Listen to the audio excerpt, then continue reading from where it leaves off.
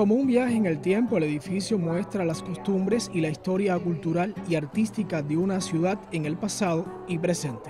Constituye un lugar de obligada visita para nacionales y foráneos. Podemos ver la monumentalidad y el reflejo de la herrería, es muy característica eh, en Cienfuegos, y bueno, las pilastras, que tiene que ver con el estilo eh, neoclásico, entre otros elementos arquitectónicos que dignifican eh, este inmueble. Salas de exposiciones permanentes y transitorias, elementos de arquitectura, biscuit, pinturas, dibujos, mobiliario y fondos documentales de gran valor atesora la edificación que fuera instalada en sus inicios en el antiguo Casino Español.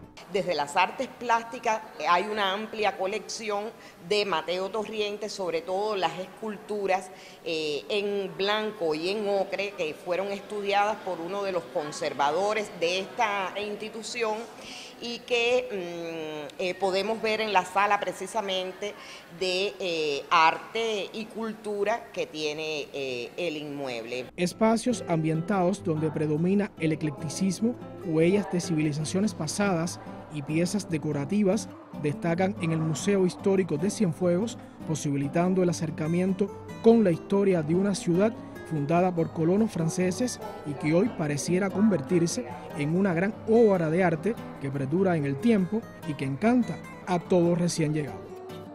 Yuniel González Hernández, Notisur.